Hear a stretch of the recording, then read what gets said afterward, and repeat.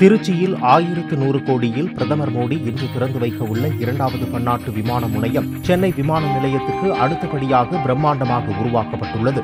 அறுபதாயிரத்து எழுநூற்று இருபத்தி மூன்று சதுர மீட்டர் பரப்பளவில் இரண்டு அடுக்குகளுடன் உருவாக்கப்பட்டுள்ள இந்த முனையம். ஒரே நேரத்தில் நான்காயிரம் பன்னாட்டு பயணிகளையும் ஆயிரத்து ஐநூறு உள்நாட்டு பயணிகளையும் கையாளக்கூடிய வகையில் நாற்பது செக் அவுட் மற்றும் நாற்பத்தி எட்டு செக்கிங் கவுண்டர்களை கொண்டுள்ளது.